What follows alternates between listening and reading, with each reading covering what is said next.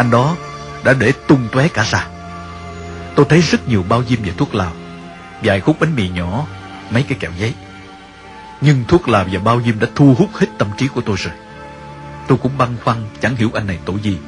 Vừa vào đã bị gọi đi cung ngay.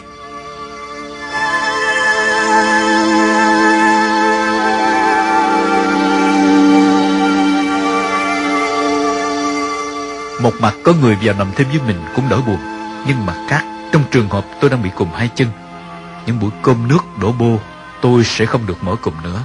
Như vậy, Hai cái chân không cử động được, Sẽ càng chống bị liệt.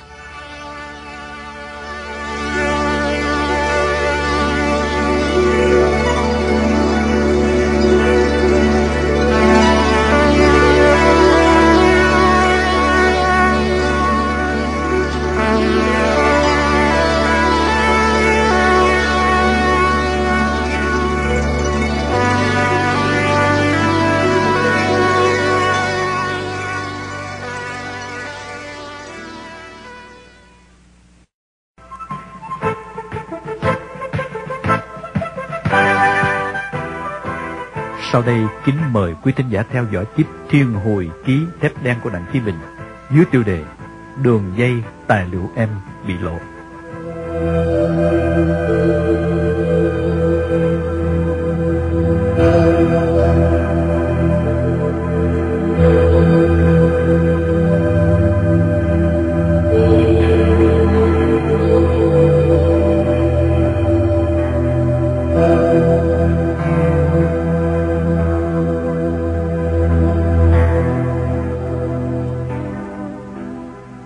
Gần hết giờ làm việc, cửa mở, anh đó đi cung về.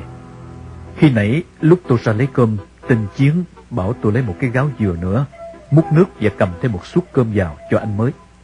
Vì vậy, suất cơm của anh tôi vẫn để ở cuối chỗ cái cùm bên phía sàn của anh. Sau khi cửa đóng, vì tôi đã có kinh nghiệm, nên bảo anh, khi thấy anh quay lại, lúi húi định sắp xếp các thứ. Anh hãy ăn cơm đã, 15 phút nữa cán bộ sẽ mở cửa bắt trả bắt ngay.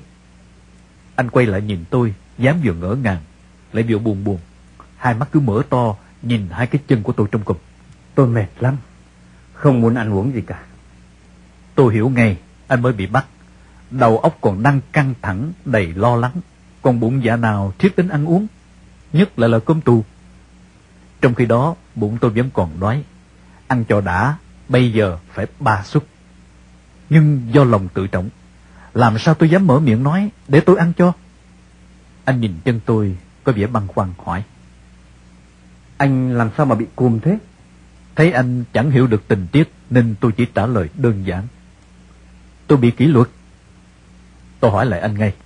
Anh bị bắt từ bao giờ? Một tuần rồi. Tôi ngạc nhiên. Thế mấy ngày trước anh bị giam ở đâu? Buồng số 9 ở ngoài chạy chung. Bị bắt về tội gì? Tôi lái xe khách đường Tây Bắc chợ hàng lậu. Như vậy anh này bị tội hình sự. Vậy tại sao phải vào Salim? Tôi tới vẻ tình cảm hỏi anh. Tội hình sự ít vào Salim lắm. Vậy anh đang ở trại chung, vì sao anh lại phải vào đây? Nét mặt anh cũng đâm chiêu. Tôi cũng chẳng hiểu tại sao nữa. Từ hôm tôi bị bắt vào mới đi cung ba lần. Xe tôi chỉ chở có 5 ký chè búp, có khi phải bị từ 3 tới 6 tháng. Anh vẫn cứ nhìn hai cái chân tôi. Ừ, còn anh bị bắt về tội gì mà cùng ghê thế? Tôi đã suy đoán được vấn đề. Chắc hẳn là chúng sợ tôi lại tìm cách tự tử nữa, nếu để tôi ở một mình. Những tội chánh trị khác cho vào giam chung với tôi, chúng xét thấy không có lợi. Cho nên, mang một anh hình sự vào nằm với tôi một thời gian, vô thưởng vô phạt. Như vậy, anh này chắc cũng chẳng ở lâu với tôi. Nghĩ vậy tôi trả lời. Tôi là giáo viên trường phổ thông cấp 2 ở Phủ Lý. Tôi theo tư tưởng xét lại. Anh cười hùng nhiên, dễ vô tâm. Các anh làm chính trị ghê nhỉ. Rồi như anh chẳng quan tâm đến vấn đề chính trị chánh em. Anh nhìn suốt sang tôi một lượt rồi hỏi. Anh có hút thuốc lào không? À, tôi cũng có hút chút ít, nhưng tôi chưa có gia đình tiếp tế. Anh dồn giả tự nhiên. Ồ, thuốc lào tôi thiếu gì. Anh hút phè ra thì thôi. Vừa nói, anh vừa kéo ra một buộc năm gói thuốc lào. Qua một lúc chuyện trò, tôi thấy anh kiến thức hạn hẹp, nhưng ở anh thể hiện ra là một con người khinh bạc giang hồ. Vì vậy, tôi cũng tự nhiên. Tôi thấy anh có điếu đâu. Sẽ làm có ngay.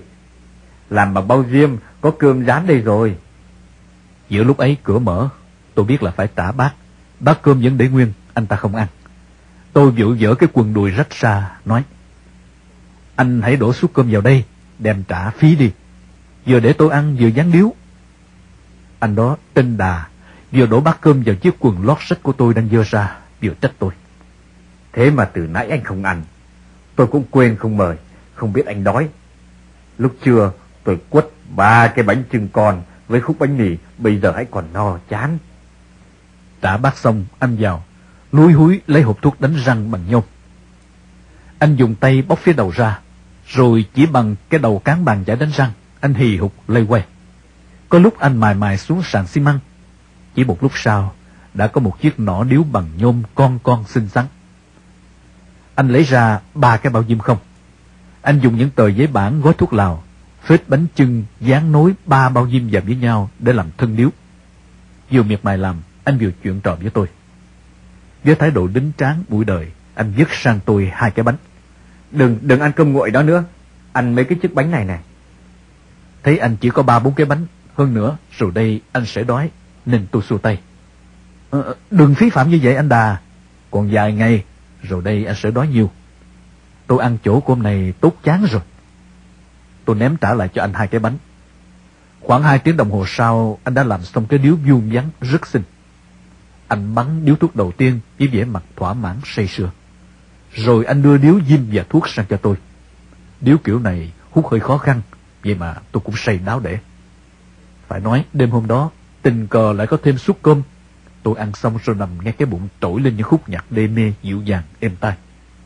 Con tỳ con vị cũng rủ nhau tham gia vào buổi dạ vũ độc nhất vô nhị từ gần hai năm nay này. Mà quái, cái đầu của tôi hôm nay cũng như hưởng ứng ít nhiều với cuộc vui đó, vì thấy đỡ nhất hẳn đi.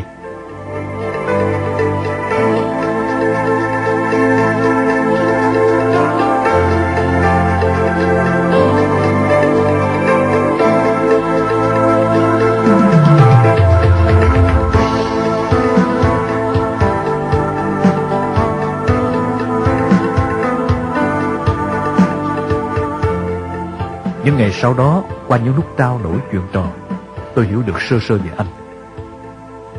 Anh đã đi bộ đội và đã phục viên được 4 năm nay. Nhờ chạy vậy xoay sở mạnh nên anh được lái xe đường trường dùng Tây Bắc. Anh có vợ và hai con. Theo anh, trên miền Bắc hiện nay, nghề lái xe khách đường dài là dễ kiếm ăn nhất. Và nhất là nếu lại biết cách móc ngoặt với khách. Thỉnh thoảng chở dấu hàng lậu cho khách như chè, gạo vân vân thì cũng kiếm ăn ra trò. Anh có khả năng kiếm ăn giỏi nên tính anh rất rộng rãi, lính tráng, khác hẳn với tên Hoàng, tên Tân và anh Hoàng Hùng.